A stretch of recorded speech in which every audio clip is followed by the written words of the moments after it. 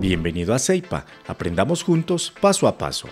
Hoy te enseñaremos cómo realizar tus actividades, exámenes y foros que se encuentran dentro de tu núcleo. Realización de tareas. Primero, ingresa al núcleo donde estás matriculado y selecciona la opción de tareas. Aquí encontrarás la actividad que debes realizar. Al ingresar, verás las instrucciones detalladas y la rúbrica de evaluación.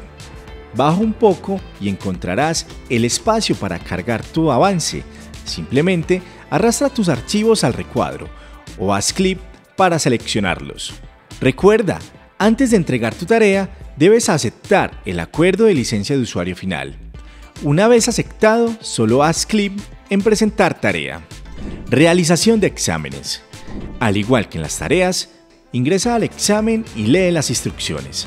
Para comenzar, solo haz clic en Realizar examen. Para moverte entre preguntas, presiona Siguiente y cuando hayas terminado, no olvides hacer clic en Entregar examen. Foro de discusión.